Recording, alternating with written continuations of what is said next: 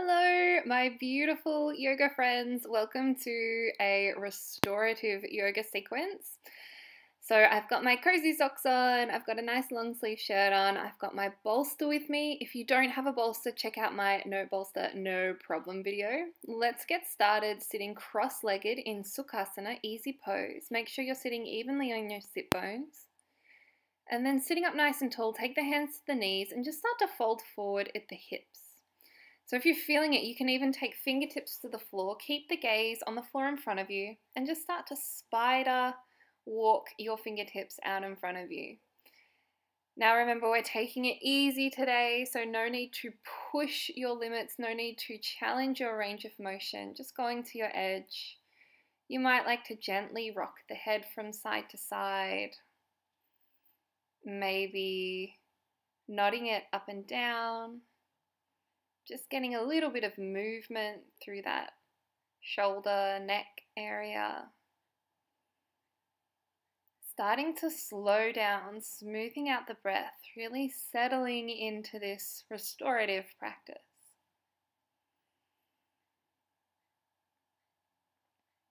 Taking this opportunity to maybe go a little bit further if you're feeling it. Continuing to slow down that breath.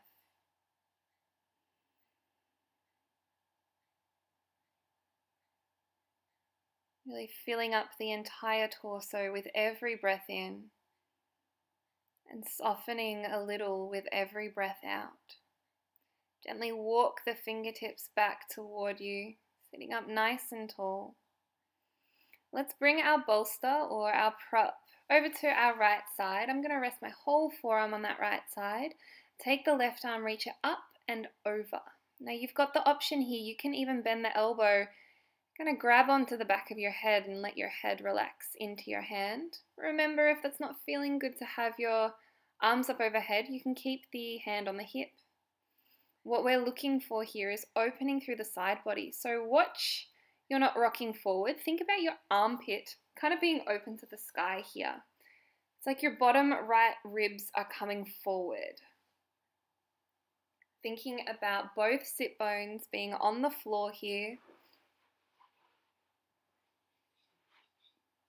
And with every breath in, feel like you're breathing some space into the left side of your body.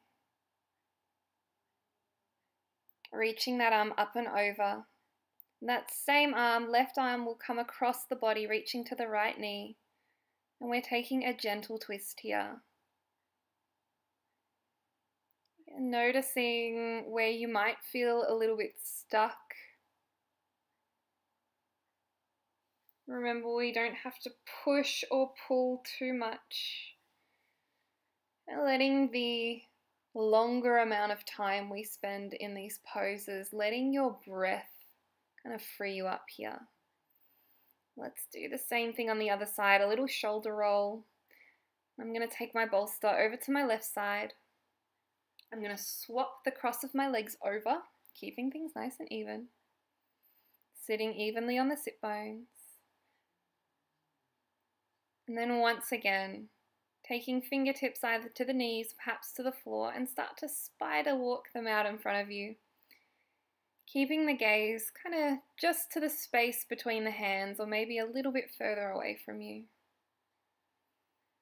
Can be nice to fix your gaze into one spot and focus on your breath.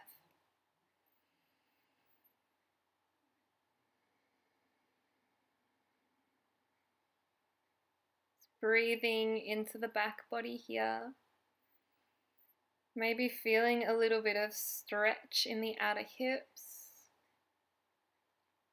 And once again, if you're feeling it, maybe you nod the head, rock the head. These really slow, mindful kind of head nods, head rocks are really great if you get a little bit fidgety in your restorative or your yin yoga practice. Then taking our lateral bend, and grounding down through both sit bones here, resting my forearm. Watch you're not collapsing into that shoulder. We've still got a little bit of a, a lift through there. then I reach that right arm up and away from me, fingertips as far away as they can manage. And then I've got the option here of grabbing my head, or maybe I just keep that hand reaching. Remembering if that shoulder feels a bit yucky, you can keep the hand on the hip. We're looking for length in the side body here. Settling in, every breath in, creating space between each and every rib on that right hand side. Really thinking about that right hip, right sit bone coming down toward the floor. Remember the options with your arms.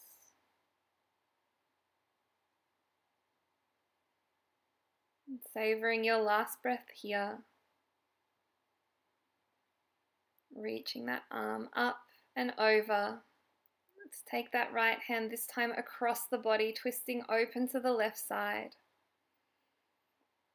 Again, knowing we're going to be here for a few rounds of breath, so maybe starting at 50% and then working your way up a little bit gently with each and every round of breath.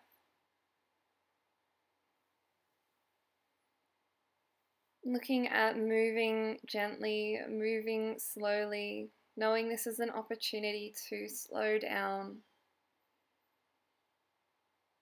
A little wriggle of the shoulders to even ourselves out.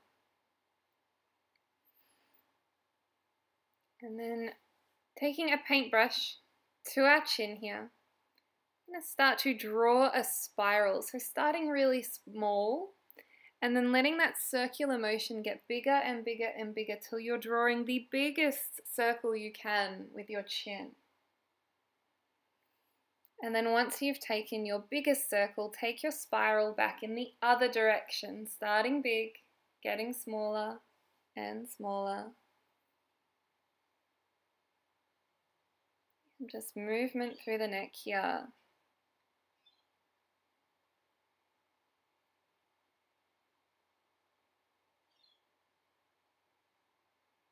Pop our bolster out of the way.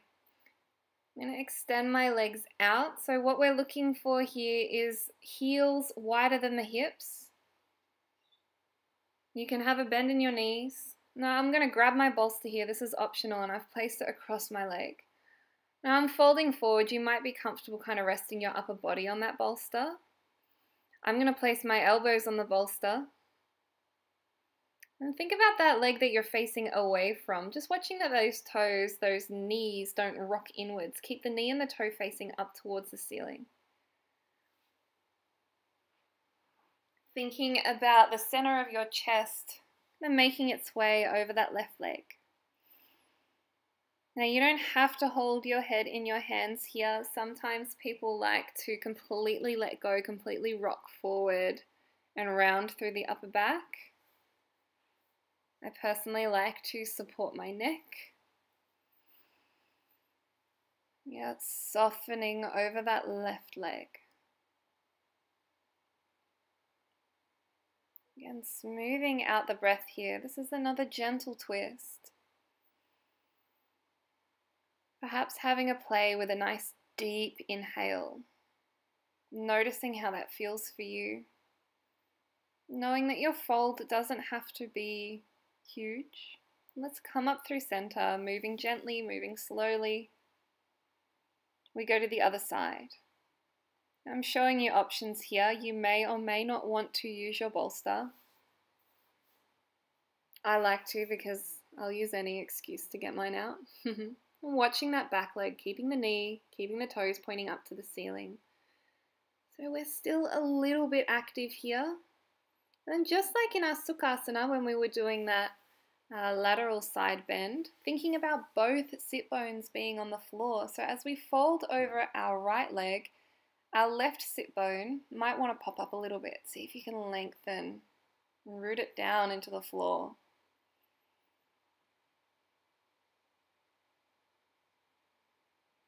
Perhaps keeping your gaze, keeping your attention in one spot. The toes is a good one for the shape.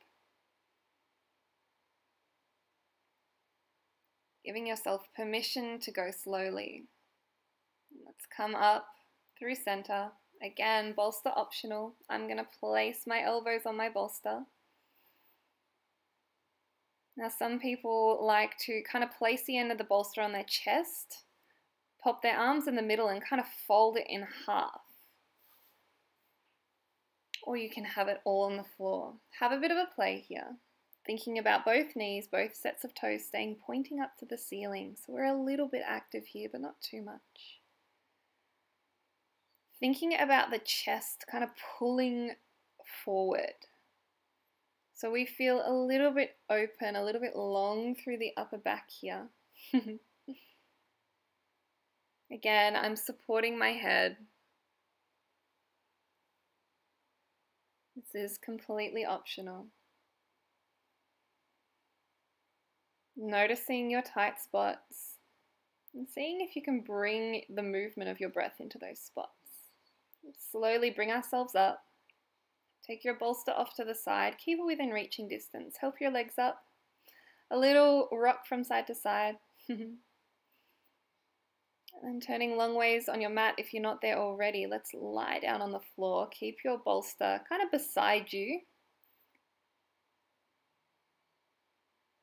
I'm going to take my left knee, draw it in towards my chest, and I'm going to grab on here. You can grab on under the knee, grab your pants. This is a good opportunity for to use your yoga strap if you can't quite comfortably reach. Now think about your head, your shoulders relaxing on the floor here. And if you can't quite grab a hold of your knee without your head resting down, grab your strap, grab your dressing gown cord, a sarong. And then here we can start to make some circles with the ankles. Just gently one way and the other.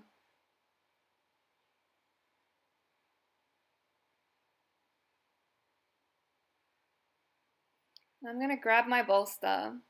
I'm going to bring it right beside my hip, taking that left leg across the body. And I'm resting my whole shin on that bolster there. And then I'm opening into a twist. So both shoulders are on the floor, especially that left shoulder. Again, the bolster is optional here. We're just taking a gentle twist. Again, we don't have to challenge our full range of motion. These gentle movements are still so nourishing to our body. Thinking about each breath an opportunity to let go of any tension that it's found its way into your system during your day.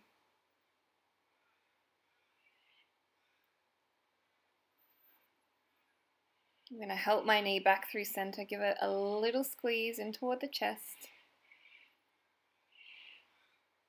I'm taking my bolster off to the side just so you can see what I'm doing. And that left knee I've got into my chest, I'm going to take that left ankle, cross it over my right knee. So right leg is bent, right foot on the floor. And options here with your figure four, you might reach up, grab that knee. I personally like to grab my bolster, any excuse I told you. Pop that right foot on the bolster. Again, just showing options. And so I've got that right foot lifted slightly, making that nice figure four shape. This is like an upside down pigeon. Beautiful piriformis stretch. And your arms can do whatever you want your arms to do right now. My favorite thing is a nice cactus shape.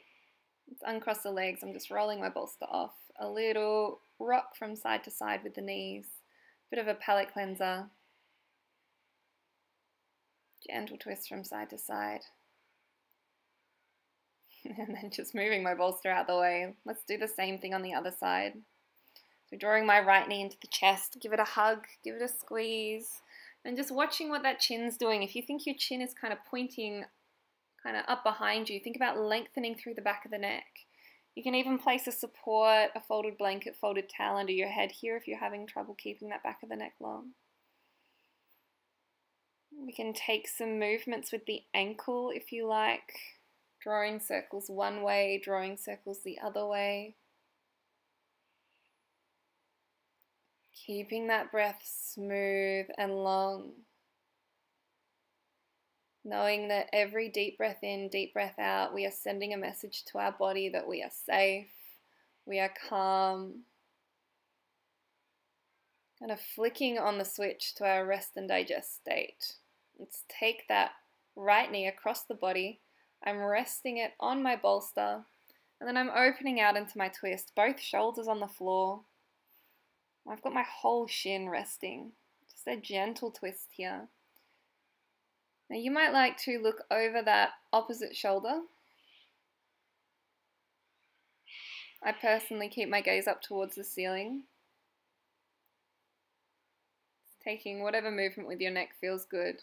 Again, if you struggle to stay still, a nice rock with the head from side to side, really slowly. It's a beautiful massage on the back of the head, but also helps keep your attention in one place.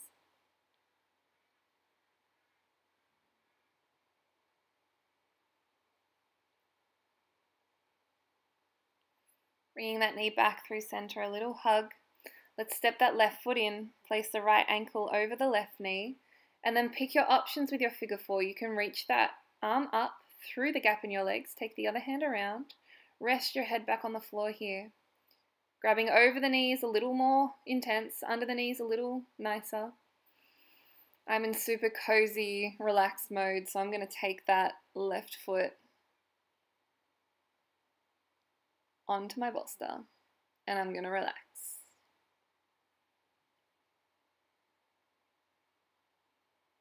Feeling heavy on the floor. Breath flows easily.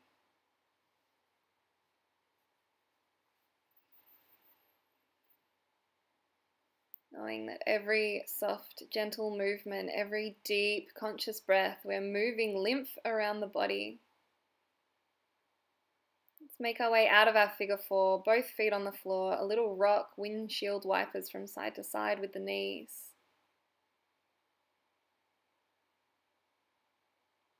I'm going to grab my bolster. And this time popping it behind me so it runs along my mat.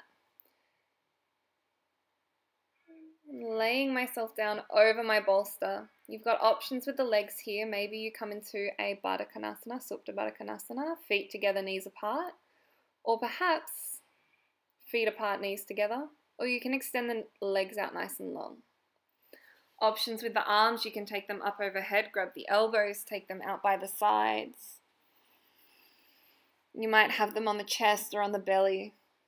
I always like to use this opportunity in this shape to open out through the chest, arms out by the sides. Knowing here if a bolster feels a little bit too high, too big for you, uh, a rolled up towel just does an amazing job too. Here, especially, every breath in is an opportunity to open through the front of the chest.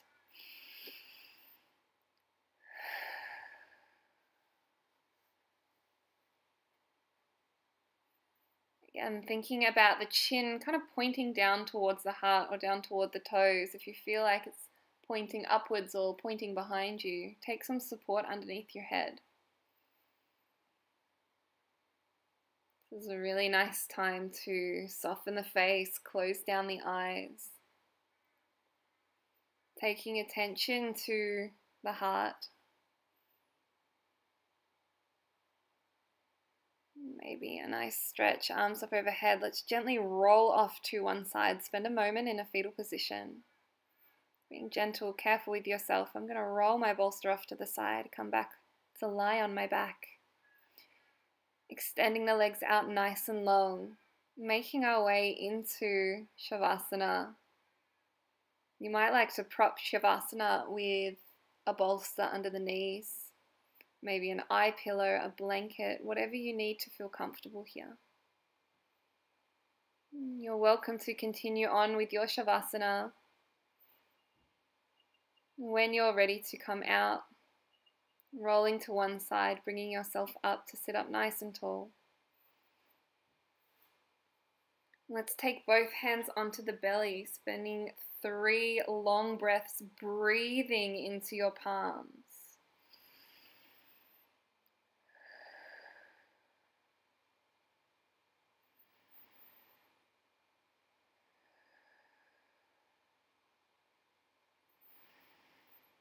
Bringing hands to the heart, same thing, three breaths, expanding your heart into your hands.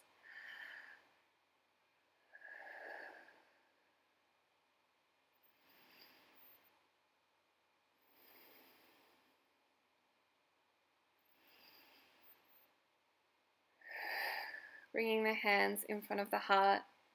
And the light in me recognizes and loves the light in you. Thank you so much for joining me for this cozy restorative practice. I am feeling so relaxed. Take care, and I will see you soon. Thank you.